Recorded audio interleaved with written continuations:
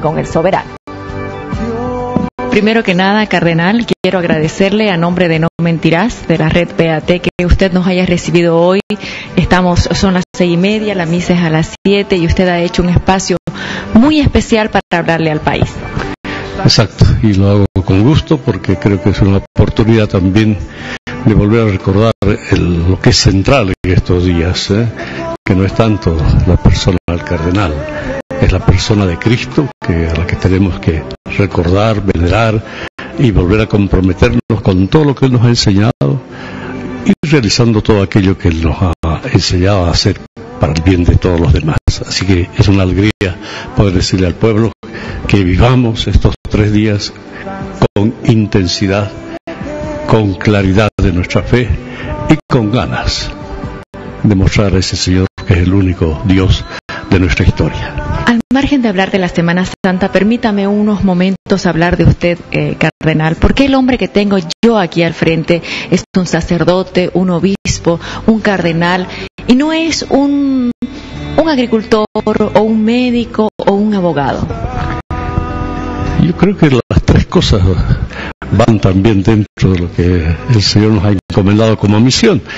Es verdad, pero yo vuelvo a repetir que gracias a lo que el Señor ha realizado y que lo recordamos estos días, es que podemos también nosotros decir, bueno, somos uno de los seguidores de este maestro, él nos ha elegido, nos ha convocado, nos ha sacado del campo, de nuestros pueblos y nos ha dado esta, este largo tiempo de poder eh, ser instrumento de su paz y de su justicia. ¿Por qué eligió usted ser sacerdote en ese momento? Bueno, son de esas cosas que uno no, no tiene una explicación. ¿Por qué? Yo había visto el trabajo de los padres misioneros redentoristas en mi pueblo y pensé que podía hacer también algo parecido y allí empezó todo, ¿no? Allí empezó mi deseo también de ir al seminario y después seguir todas las exigencias que tiene el sacerdocio para poder llegar a coronar esta vocación. El cardenal Julio Terrazas está a punto de cumplir 50 años en el sacerdocio. ¿Cuál es eh, la diferencia? ¿Qué diferencia tiene de ese seminarista de hace 50 años a este hombre de hoy, este hombre entregado a Dios? La verdad es que la diferencia es remarcable. Cuando uno es seminarista joven, pues tiene quizás más ilusiones, tiene muchas ganas de hacer cosas, pero ya al llegar eh, a vivir estos 50 años de sacerdocio, ya uno está más a disposición de lo que el Señor, el Señor nos pide, más que a los proyectos que uno podría hacer pensando realizar todo lo bueno que, que toda persona humana debe realizar. Yo siento la, la diferencia en la intensidad, ¿no?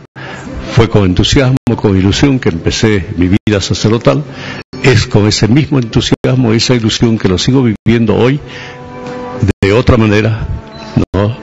De, con manera quizás más reposada porque ya no dan tampoco las piernas para andar corriendo. ¿Hay cansancio en estos 50 años o después de estos 50 años? Hay, eh, en el transcurso de nuestra vida humana hay momentos de cansancio, a veces de desaliento, pero cuando cada día podemos tomar contacto con el Señor, bueno, uno puede decirle, eh, lo ofrezco todo, eh, tú me has elegido, tú me acompañas y tú me has prometido que no me vas a dejar abandonado. ¿Qué males le aquejan al, al cardenal Julio Terrazas? Eh, se habla mucho de sus enfermedades. ¿Cómo está usted? ¿Cómo está este hombre que para muchos es un roble?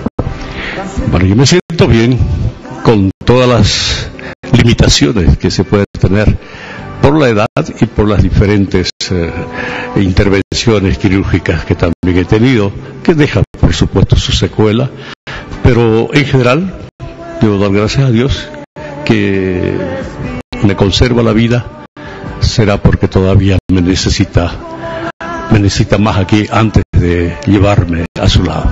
Hay algo que en este momento se está escuchando mucho y ha salido eh, a través de un mensaje del Papa Benedicto XVI, el tema de las mujeres al sacerdocio. ¿Por qué, si hay otras iglesias que permiten que mujeres sean sacerdotes, por qué la Iglesia Católica no lo permite? En una larga, tradición, la Iglesia Católica no es que se haya cerrado por cerrarse, es que la Iglesia Católica ve en el, en el conjunto de los apóstoles que han, que han seguido al Señor y que han sido los que nos han transmitido las enseñanzas del Señor, ha visto que sean gente elegida del pueblo, gente que tiene sus compromisos también eh, propios de su fe y de su profesión con los demás. Esa ha sido la cuestión práctica. Lo otro eh, de otras iglesias, bueno, es comprensible, es quizás respetable también, pero nuestra iglesia quiere seguir siendo fiel a este mandato y a este llamado del Señor. En No Mentirás queremos hacerle un reconocimiento a usted, a este hombre. Quiero mostrar, por favor, este es el reconocimiento. Vamos a mostrarlo ahí, que le estamos dando. Y lo voy a leer. Al ilustre cardenal Julio Terrazas, seguidor de Dios y portavoz del soberano. El programa No Mentirás confiere la presente distinción al hombre al sacerdote, obispo y cardenal Julio Terrazas en reconocimiento a su tarea pastoral en tiempos de dictadura y democracia, defendiendo siempre la vida y los valores cristianos y procurando en todo momento ser la voz del soberano y un fiel seguidor de la palabra de Dios.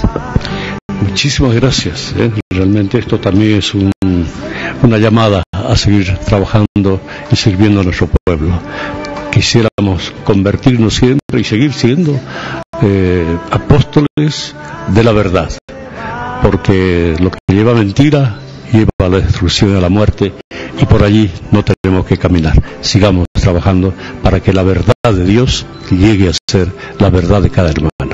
Cardenal, ya en el cierre, no mentirás, es un programa que se transmite todas las noches de 10 y cuarto de la noche a 12 y cuarto. Es un programa que se transmite a nivel nacional. En este programa, el soberano, que es el ciudadano, se comunica con nosotros a través de diferentes formas. Nosotros abrazamos el país porque nos comunicamos con todo el país.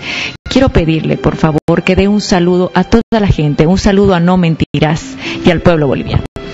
Por supuesto que yo aprovecho este canal extraordinario de comunicación con nuestro pueblo para abrazar a todos los bolivianos y bolivianas, para decirles mantengamos la fe en el Señor de la vida, para animarlos a no claudicar frente a las exigencias de verdad y de justicia que el Señor nos ha encomendado cultivar y hacer que todo el mundo se haga discípulo de estas causas. Mi saludo y mi abrazo a todo el pueblo de Dios en Bolivia. Cardenal Julio Terrazas que nos recibió esta tarde, le agradecemos mucho y también quisiera agradecer por favor al señor Samuel Arias de Grabograf que nos colaboró con la plaqueta que le entregamos al cardenal. Soberano, por favor, sobre Julio Cardenal Terrazas. El soberano.